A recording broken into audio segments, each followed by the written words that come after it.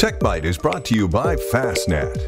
Fastnet, internet powered by Ford County, the people you trust.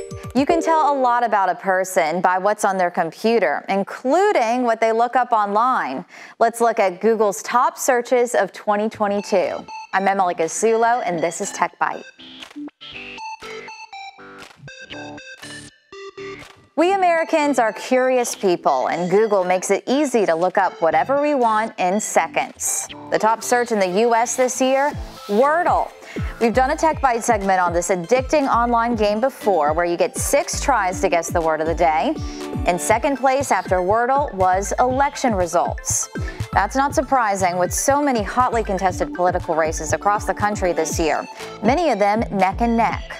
Election results was also the top news search on Google this year. Queen Elizabeth passing was right behind it. Ukraine, Powerball numbers, and Hurricane Ian followed at 3, 4, and 5. The top person in Google's search engine was Johnny Depp, likely because of his high profile defamation trial against ex wife Amber Heard. She actually made number three on the list. Will Smith was number two after infamously slapping Chris Rock at the Oscars. Many Americans also wanted some confirmation on how to pronounce certain words. The top search there was how to pronounce Qatar, or is it cutter? Hmm. Tomato, tomato. Number two, how to pronounce Kiev.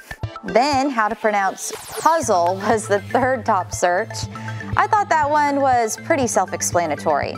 As for the most popular searches for near me, number one, of course, was gas prices near me.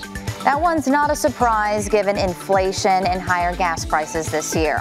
At home COVID tests near me came in second, with voting near me and early voting near me at three and four.